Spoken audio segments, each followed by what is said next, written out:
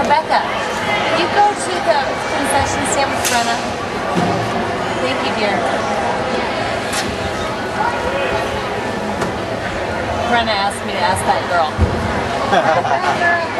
ask that girl.